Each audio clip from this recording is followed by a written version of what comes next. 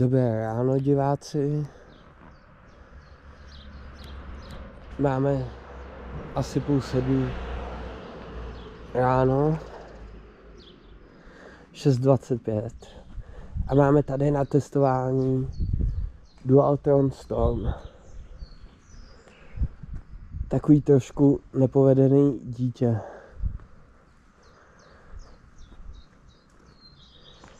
My máme v plánu si ho tady oskoušet a srovnat ho zároveň s Ultra 2, X2 a Bronco. Protože tahle koloběžka měla stát 120 tisíc a její cena vůbec jako neodpovídá té kvalitě. Jak už jsem zmiňoval předtím, tak mě docela dost vadí nosníky kol, jak jsou prostě z takového bakelitu a plechu. Řekl bych, že mě vadí docela i dost ten blatník. I když jako je plastový, ale nemám rád nášlapy. Na desce se může blbě stát. Vyndání baterky je vlastně k tíčevu, protože to už nedáte zpátky. Blink je taky zbytečný, protože je to moc úzký. Na koloběžku se nehodí blinky, to už by mělo být na každém kole. Ale co je na něm hezkýho je design. Ta červená linka, to se jim jako povedla.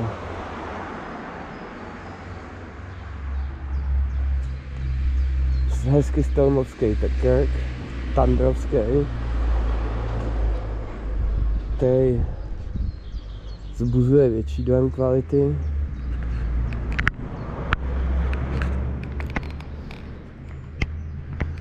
Tak kameru máme nastavenou a můžeme jet.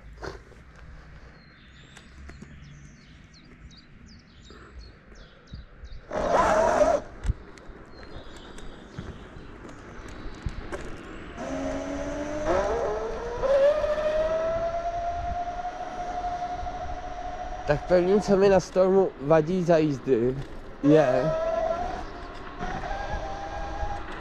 příliš silný zátah od začátku.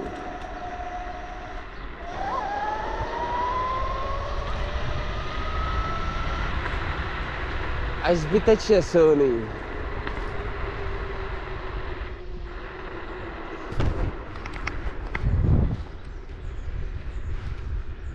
Takový zátah prostě od začátku, to je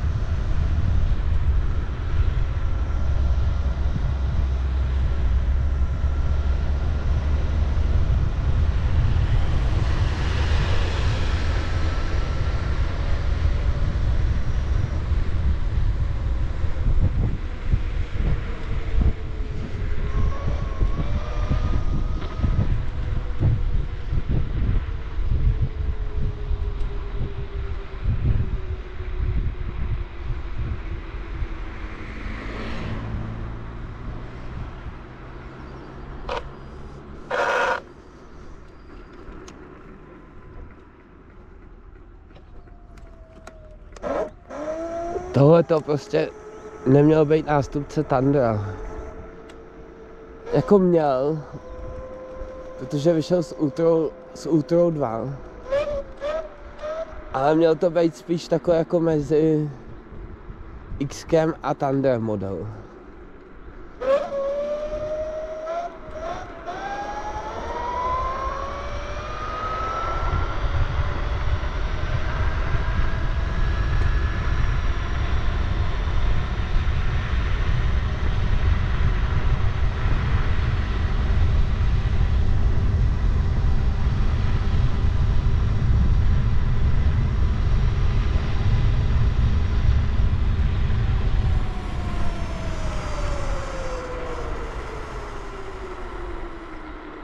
Já z toho více jak 72 prostě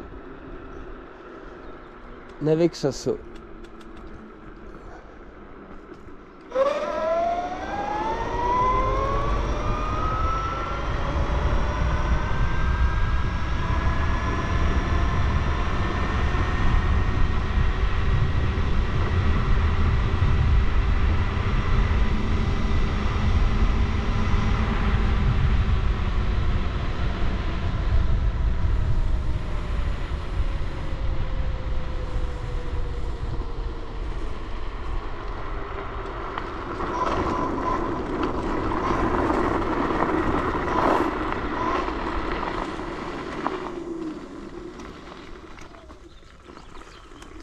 První velká věc, co mě vadí, že jsem strašně vysoko.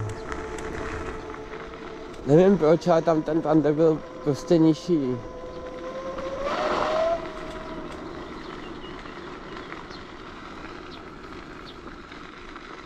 Jako osobně jsem zvědavý, jestli vyjde nějaký Storm 2 nebo... Jestli tenhle stroj dají k ledu, nebo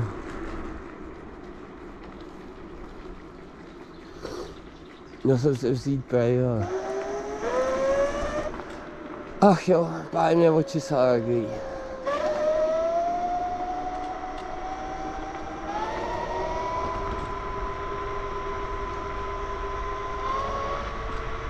A to nevadí, já to vydržím, abych vám mohl doníst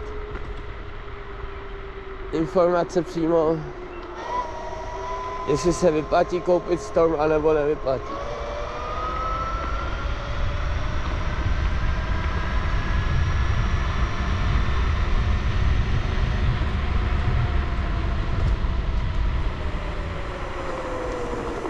Jo, jako pocitově jede rychle.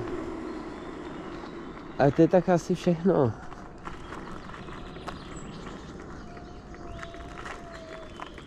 A pozor. Že by zase ložisko.